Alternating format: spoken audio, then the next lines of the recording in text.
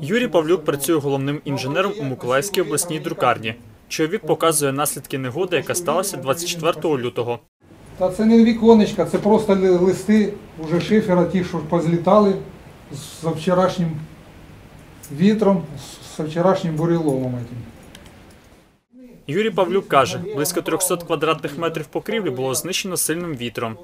Тобто відкрите здання зараз повністю доступ. Відкрито будівлю зараз повністю. Доступ вологи. За прогнозами, зараз ще дощі почнуться. Як рятуватися, поки ще рішення немає. Ось бачимо факт на обличчя, що постраждали ми дуже, дуже і дуже. Дуже швидко, оперативно треба вживати заходів, тому що ми будемо втрачати будівлю. Воно буде мокнути це все, і перекриття, і стіни будуть мокнути все. А далі вдарять морози. А що таке мороз? Навіть якщо морозу не буде, воно буде просто мокнути і все.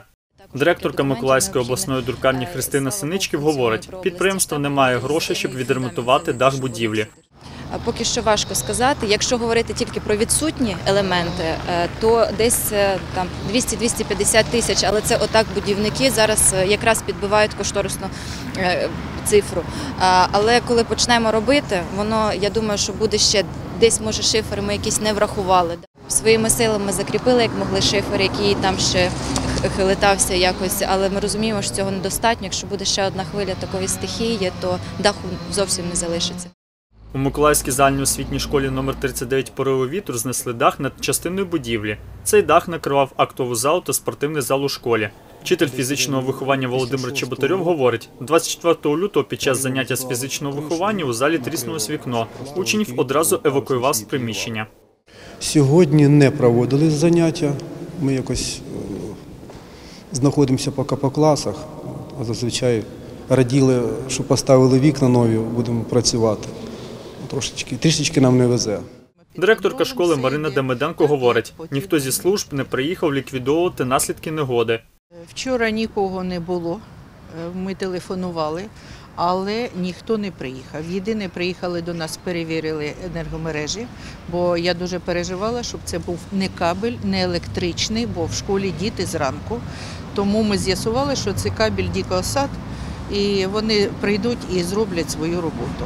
Станом на 9 годину сьогодні, 25 лютого, е, учбовий процес, навчальний процес відбувається. Ми перегородили, як бачите, е, входи, виходи поза межі школи. Зараз іде прибирання. У нас е, фактично не функціонує тренажерна зала, спортивна зала і на сьогоднішній день актова зала. Ну там трішечки будемо казати, посипалася покрівля. Працівники житлово-комунального підприємства Бриз ремонтували залізну опору на даху будинку на вулиці Галини Петрової, 17.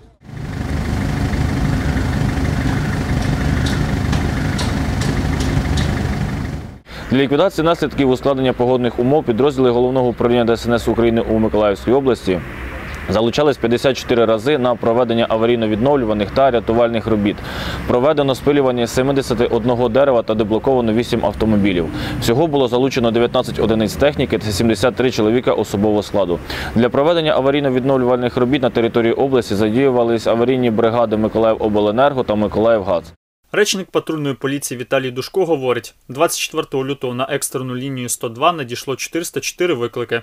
Вчора під час негоди патрульна поліція працювала в штатному режимі, е, відпрацьовували виклики по лінії 102. Е, Також е, всіляко надавали допомогу громадянам, які так чи інакше потерпали в зв'язку з негодою. Також екіпажі були задіяні на регулюванні та забезпеченні безпеки дорожнього руху під час усунення наслідків негоди. Начальник управління з питань надзвичайних ситуацій та цивільного захисту населення Олександр Герасіменя говорить: завтра зранку буде проведене позачергове засідання виконкому, оскільки 26 лютого очікується дощ, і планують встигнути накрити ті місця, де зараз відсутня покрівля.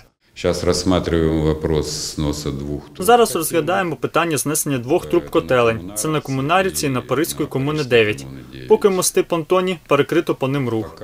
На Аляутському мосту віднесло навіть якоря. Будемо викликати водолазів, шукати якоря, піднімати, відновлювати. По Інгульському мосту пішохідному запросили фахівців для того, щоб вони дали рекомендації щодо відновлення цього мосту.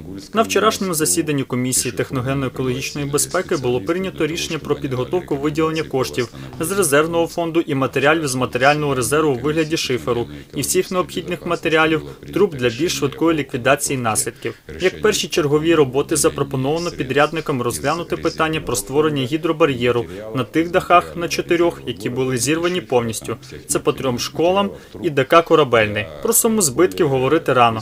Кожен дах зірваний це більше двох мільйонів, тобто чотири дахи це вже 8 мільйонів. Крім того, понтонні мости, якоря, які потрібно витягнути, ті матеріали, скло, які були знесені частково на цих 74 дахах.